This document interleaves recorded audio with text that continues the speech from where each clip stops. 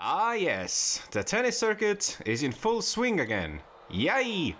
Actually, the Aussie Open time of the year might be my favorite regarding tennis season.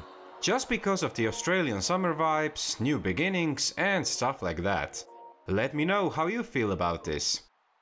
Anyway, what's up folks, I am Dana from Chip and Charge and today let's make some bold predictions for the 2023 tennis season.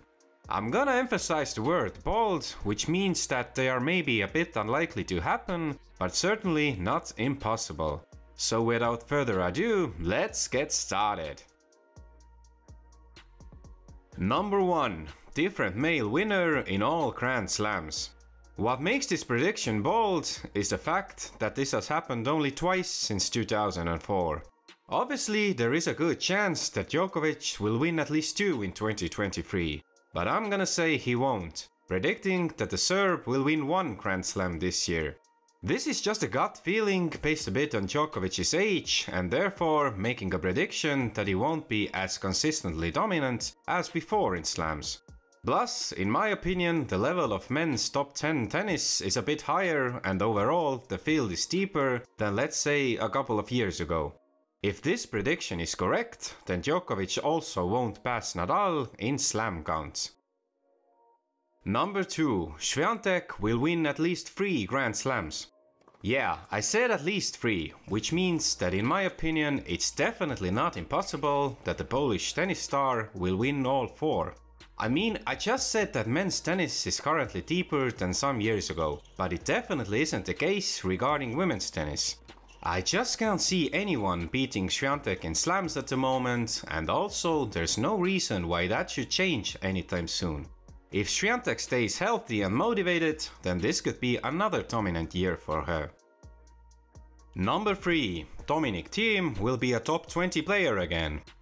Man, it's been a rocky road for the Austrian in the past couple of years. But good news is that the former world number 3 and US Open champ showed a glimpse of better form at the end of last year. Thiem is definitely a guy who is great for tennis because of his good attitude plus an aggressive and entertaining playing style. The Austrian is currently ranked just outside of the top 100, but I really feel and hope that he will finish the year inside the top 20. And who knows, maybe he can have some great results in the clay court season, which, as we know, has historically been the most successful part of the season for him. Number 4. Osaka to focus on tennis in 2023. That definitely is a bold prediction, because it hasn't been the case in the last couple of years. Yeah, I get it that she has had some mental health issues and has been struggling to have fun on the court but she definitely has been concentrating more on other stuff, for example business adventures. In 2022 Osaka played only 11 tournaments and won just 15 matches. She reached the Miami Open final, but overall her year was underwhelming to say the least. In a recent interview though, the four-time Grand Slam winner gave some hope that tennis might be a higher priority for her in 2023. I feel like I'm a very curious person, so I'm grateful to have been given all these avenues to explore, so I'm definitely looking forward to doing a lot of stuff. But I am a tennis player, so if I don't play tennis for too long, I get an itch, said the 25 year old Osaka during an appearance on Good Morning America. Number 5. American male tennis player will make a Grand Slam final. The last American man who reached the Grand Slam singles final was Andy Roddick in 2009 Wimbledon. So it's been 14 long years. Couple of Americans have reached the semi-finals since then. For example, Frances Tiafoe did it very recently, beating Nadal on the road to the US Open 2022 semi-finals. So actually I don't know if it is even a bold prediction, because Taylor Fritz, the world number 9, also raised this game last year. As we know, Fritz won the Indian Wells Masters and reached semi-finals in ATP finals.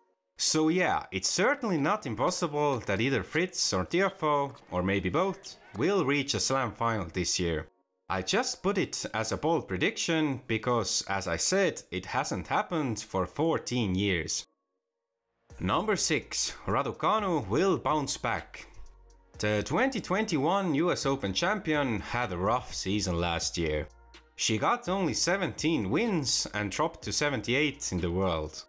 Tennis fans and media just had a go at her basically all year round. But give it a break guys. Raducanu is still only 20 years old and obviously everything after the US Open victory was quite overwhelming for her. Anyway, I feel like this will be a bounce back year for her and she will shut down most of the critics. Top 20 and a WTA title seem like a bit bold, but at the same time, definitely possible predictions. Number 7. Nadal and or Murray will retire this year. Well, maybe it isn't a bold prediction, but it definitely would be sad. If I had to guess who will retire first out of Nadal and Murray, then I would probably pick Murray. The Scotsman recently said that he is one big injury away from retirement. So that doesn't sound good to be honest, given the fact how injury prone and fragile Murray has been for some time now. Meanwhile, Rafa said goodbye to the Mexican crowd after a recent exhibition match. The Spaniard confirmed he will not be defending his Acapulco title in 2023 and dropped another retirement clue, adding that this will most likely be the last time I play in Mexico.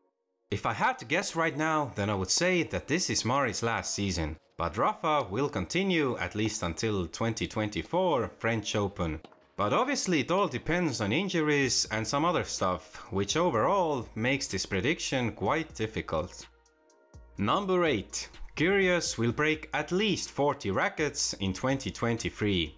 I actually have no idea how many rackets Kyrgios broke last year, but 40 seems quite a lot and probably more than he destroyed in 2022. Well, actually, maybe it isn't that much, because Safin broke over 50 in one season in his prime. But to be fair, the Aussie plays less tournaments than Safin did in his day, so yeah, I'll stay with my 40 plus prediction. So that little curious guess sums up this video. What do you think about my predictions? And what are your bold predictions for the 2023 tennis season? Let's discuss them together in the comments section. Anyway, have a nice day and see you soon. Bye bye.